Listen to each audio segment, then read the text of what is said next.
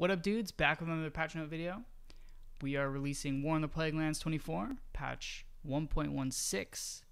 We have a bunch of new abilities, heroes, everything. Um, I have decided to include some of the changes that will be in 1.2 in the current version, so it's kind of a minor patch. There are quite a few things that may not make the final cut. So, without further ado, make sure to hit that subscribe button, check out the Discord, check out my Twitch. I'll be streaming later. So, uh, cheers. So, this video is going to be a little bit different than previous Passionate videos because I'm going to go through all of this in one take. It's not going to be as polished, but I will still try to get through everything as concisely and quickly as possible. So, to begin, um, I'm going to go through changes detail them, show which heroes have what, and then I'm going to demonstrate the changes and show what the new abilities do, what it looks like, etc. So, to start, the first new ability that we have on Mograine, Ashbringer Tirion, not regular Tirion, and Sally Whitemane is Cataclysmic Light, which is a single wave rain of fire derivative, which deals a lot of damage in a small AoE on a reasonable cooldown. And to compensate for Sally losing her divine punishment, which is the stun, the range stun, Renault now has divine punishment in place of his shockwave. So, the next ability that we have introduced is called Arcane Multi-Shot. It is a pretty standard multi-shot ability, and it is the attribute bonus for Sally, Valroth, Fairbanks, and Darkmaster Gandling. Next, we have a dark version of Flame Strike on Cormac, Fairlena, and Maleki. Um, the values for this Flame Strike are identical to Isillien's. However, its tooltip's wrong. It is a it is on a longer cooldown. The cooldown is 25 seconds, deceivingly. Um, next up, we have an ability called Swift Strike on Putridius, Abbendis, Herod, and some more people.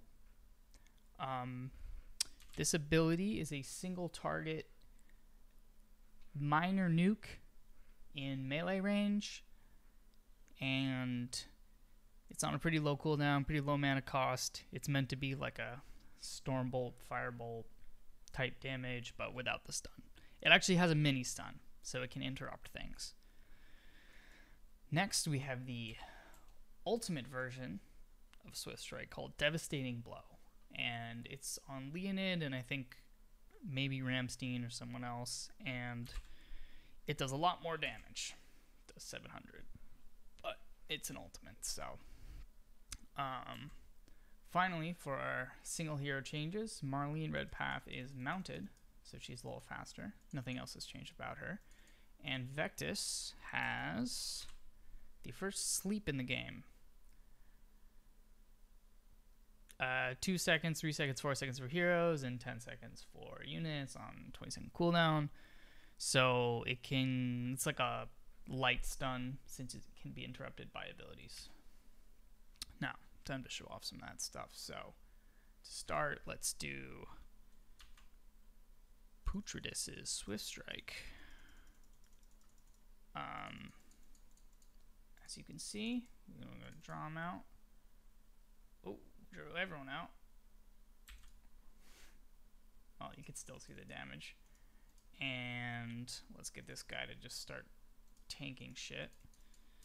Show off Leonid's devastating blow first. So we'll just see some massive damage on this guy. Whoop.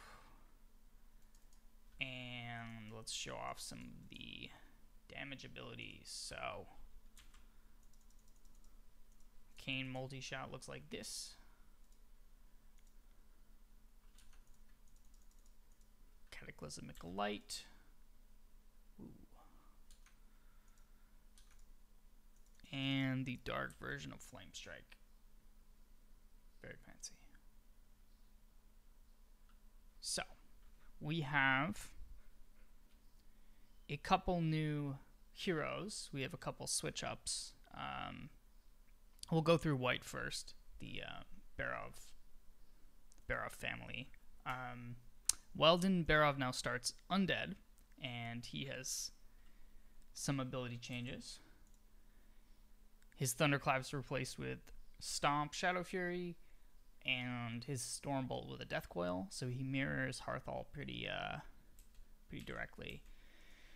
And Alexei Barov has a whole new, whole new kit, mostly new kit. He has Swift Strike. Uh, his Impale is on Q, Ult and, uh, and Attribute are the same, and he has this new Immolation that we're trying out, non-aura E abilities. So the Immolation is not intended to be very strong, but it also does not cost very much mana. So it's just to give him some minor wave clear.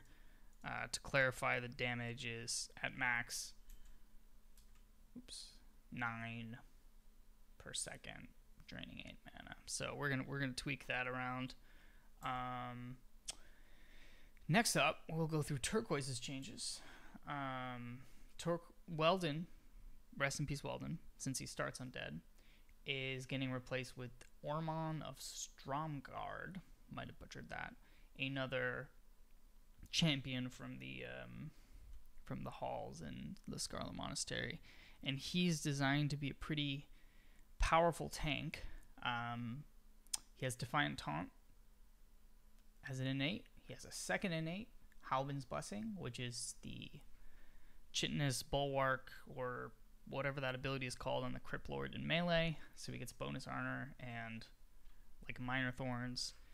And he has a pretty interesting kit Holy Light, Holy Nova, a new ability called Blessing of the Crusade, which is just a self target anti magic shield. You can't use it on anyone else. Uh, pretty standard avatar ability, and the tooltip is wrong, but his attribute bonus gives two of each stat per level, and uh, it doesn't show up. It's it's it's hidden, and Valea has had her fan of knives returned, and her stealth is on an innate now, and it's on a lo- longer cooldown and all that. So she should have a little more burst. So let's show these guys off a little bit. Um, you know, she can kind of go stealth and actually do some burst DPS. And this guy basically gets armor out his A. He gets this self um, spell shield, and he can get pretty big. We probably are going to want to work with that. Uh, his collision size is a little bigger than other heroes, so he's just meant to be like a tank. Um, yeah. So, next up, let's look at two new brawler heroes. One of them isn't so new. Um, the Ravenian, Ravenian, butchered that, uh, is now a hero. Uh, he's a pretty pretty simple hero. His Death Coil, Enrage, Cleave, and he has the new Devastating Blow as an ultimate, as well as Juggernaut as his attribute. So Pink gets a whole new melee hero. And Zael'darr the Outcast has been converted to a melee hero. He has a far more powerful kit than the old Zael'darr. Death Coil, um, this new optimized version of Bladestorm that was on Lorik called Flurry, Bloodlust, and Force Wave. And uh, this is going to be changed to Troll Mojo. So, show off the oops, animation for that real quick. Looks pretty cool. Next up, we have some pretty big changes to blue. Um, Taelan Fordring is now a lot more valuable. Hopefully, people won't be suiciding him. He has Holy Grasp, Vishas's Q, replacing his Holy Light. His Stomp is replaced by a less powerful version of Alex. Alex's Blinding Night, ah, Blinding Light. It's like a mini stun and uh, blind. And then his Lay on Hands is replaced with Champion of the Light, which is pretty strong ability. Let's just grab all that. One of these guys.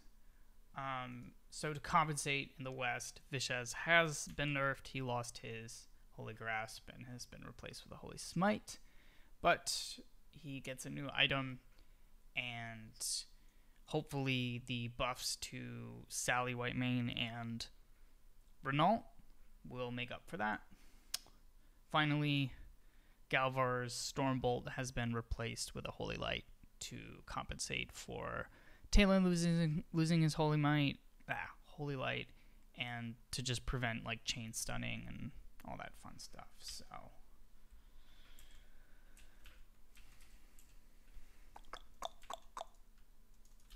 Taelan should be pretty strong now.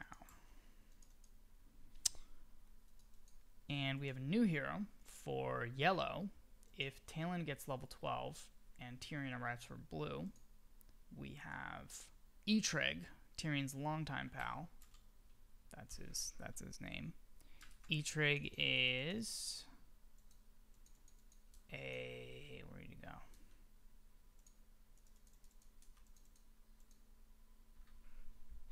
Bruiser hero. He's actually pretty strong.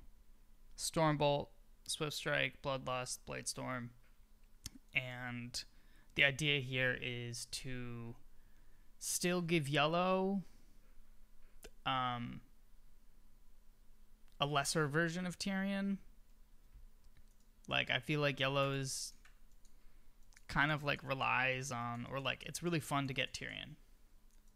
as, when playing yellow. You get like this new tank. He's he's super strong. You know all this stuff. But if blue actually plays well, then you never get to see him.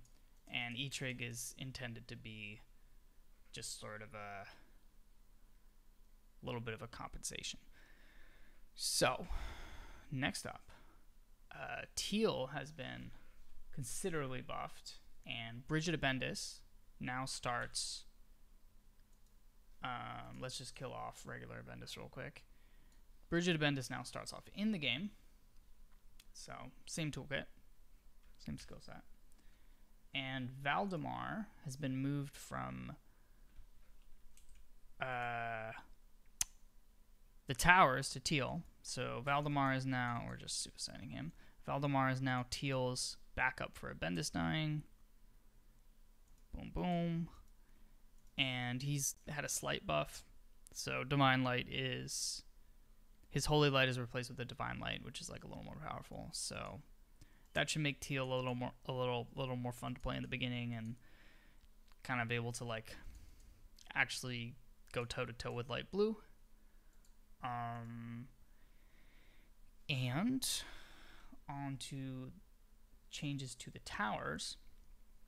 Um, so the towers have lost Valdemar, and he's been replaced with Leopold, who now starts at this bottom tower. And Leopold has the same abilities. And the towers get a new hero as the replacement for Leopold upon getting any hero to level 12. Argent Dawn Officer Garosh. Garrosh. Not quite Garrosh. butchered it. Um, but he's a orc of the Argent Dawn. Divine Punishment, the Impale, Swift Strike, Endurance Aura, Blade Storm, Light's Grace. And he comes in at level 8. Um, finally, just to show off, um, we'd been experimenting with a non ultimate version of Blade Storm, which has been renamed Flurry on Lorik, and um, this is the optimized version so far. So rather than the ability going on for, you know, four or five seconds, it just goes on for one second and deals a lot of damage in a small period of time. So hopefully that will make a bit of a splash. And um, finally, we're about at the end here. We have a new hero, not quite, not, not quite new, a returning hero for light blue as a backup for Corin's Crossing dying. Hed'mush the Rotting. He comes with a couple units, 12 exactly. Uh, Hed'mush the Rotting was deprecated from the 12 player, and he's not super exciting. His Death Coil, so Strike, Command Aura, Enrage, Bone Armor, and yeah, there's some other small changes um, throughout the patch. So, for instance, uh, Scout Ziggurats for Scourge now properly detect invisible units. Uh, just some various tooltips, some new items. The game's now set to daytime all the time. So just trying out a bunch of different things. And for the most part, this is just testing out some of the new features that will be in 1.2. So about every two weeks, I'll be releasing a kind of mini patch. So in two weeks, we'll have 1.17 that includes just some of the changes that will be included in 1.2. Not all of them will stay. Um, just wanted to show off some of the cool things that I've done that may be on different heroes for the finished product. And, um, yeah, thank you for watching. If you enjoyed the video, if you enjoyed the patch, if you enjoy War in the Plaguelands, please drop a follow on Twitch, subscribe to the YouTube, show up in the comments section, head over to the Discord, check out my Patreon, etc. Much appreciated, much love. Uh, we'll see you guys in game. What up, dudes? Back with another patch. What up, dudes? Back with another. Back with another. Drop a subscribe. Hmm. Let's just try.